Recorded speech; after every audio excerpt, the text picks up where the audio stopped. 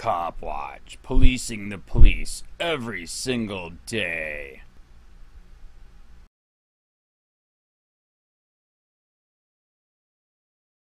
Cop and state attorney jailed after fellow cops caught them raping a baby and filming it. A vile police officer and state attorney were sentenced to prison this month for horrifying sexual abuse of a baby and several children. By Matt Agorist, August 8, 2018. In one of the most disgusting cases ever to come across the radar of the Free Thought Project, a police officer has been sentenced to 16 years in prison after he was caught by his fellow officers raping a baby. The now former cop, 48-year-old Dean Roberts filmed himself abusing a helpless infant while on duty. He then distributed the footage to other pedophiles in a messaging app. His fellow officers caught a different pedophile also a government employee who had received the horrifying footage and then traced it back to one of their own. The former officer from the South Wales Police Department was then arrested and it was discovered that he had been plotting with other pedophiles to jointly abuse other children to make and distribute more footage.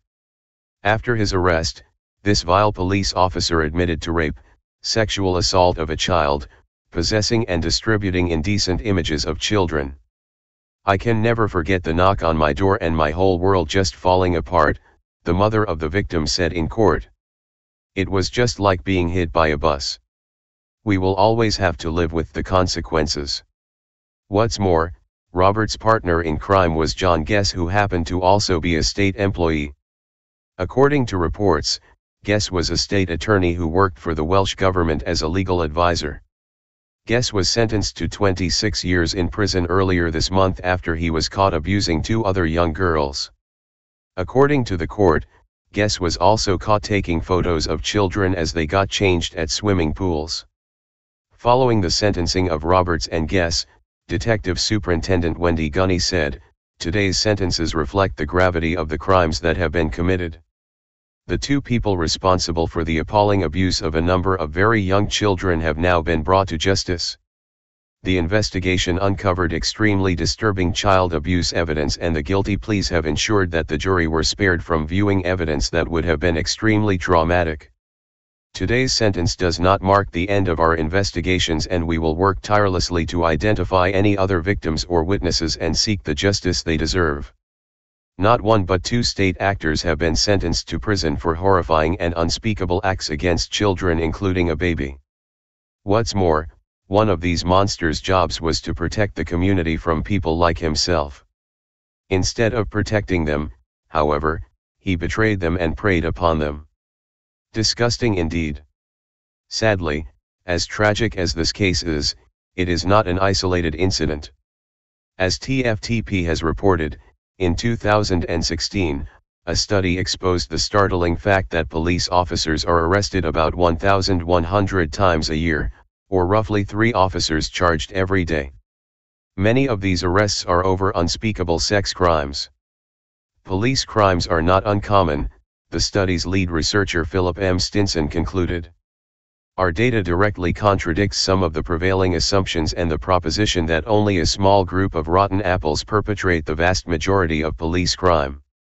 Although nearly 60% of the crimes occurred when the officer was technically off duty, Stinson wrote, a significant portion of these so-called off-duty crimes also lies within the context of police work and the perpetrator's role as a police officer, including instances where off-duty officers flash a badge, an official weapon, or otherwise use their power, authority, and the respect afforded to them as a means to commit crime. According to a report from WAPO, in cases involving allegations of sexual abuse, 72% of the officers were fired, and more than 80% resulted in convictions, the study found. There were 422 reported cases of forcible and statutory rape, 352 cases of forcible fondling and 94 sodomy cases over the seven years of the study, which Stinson called larger than expected based on the existing research. The data search turned up 174 examples of male officers arrested in cases of driving while female, in which women drivers were harassed or assaulted. About 82% of those cases ended in convictions. A separate study as reported by the AP in 2015 found similarly shocking numbers. The probe revealed that 550 officers were decertified for various sexual assaults, including rape.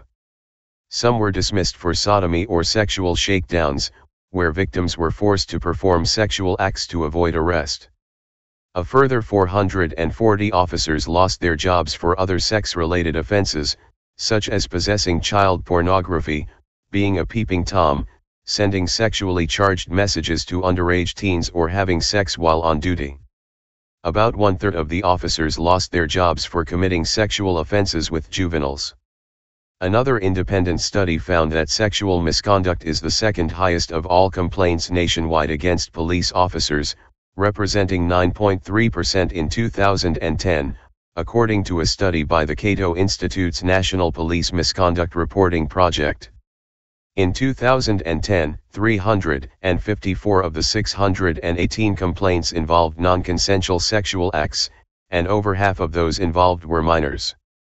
Perhaps the most chilling aspect of police sexual misconduct is the likelihood of underreporting. As the case of the NYPD cops intimidating the rape victim shows, police officers stand up for their own even if it means protecting a rapist. When a person becomes a victim of police sex crimes, how can they be expected to go to the very people who employ their abuser and report it especially given the fact that it is well known police will go to great lengths to protect their own. It's happening probably in every law enforcement agency across the country, said Chief Bernadette DiPino of the Sarasota Police Department in Florida, who helped study the problem for the International Association of Chiefs of Police. It's so underreported and people are scared that if they call and complain about a police officer, they think every other police officer is going to be then out to get them. Police use who may want to retaliate against him physically. Hey Charlotte County, this is Charlotte County Cop Watch, and I just wanted you to know that uh, I am using this stuff under fair use. And uh, also uh, remember to like and subscribe this channel. Uh, also, too, uh, keep in mind I do not make any money on YouTube. Uh, this is uh, five hours work a day. you know, fighting for freedom. And I do. I you can donate with PayPal and Patreon. I just want you to think about this. If everybody gives uh, to PayPal and Patreon. Patreon is every month. Actually, PayPal you can do every month. I have 12,000 subscribers. If everybody gives, I can uh, quit my regular job and go full-time investigations on Charlotte County and possibly even more and beyond. So just keep that in mind. If everybody helps out, I can go full-time doing this. Thanks.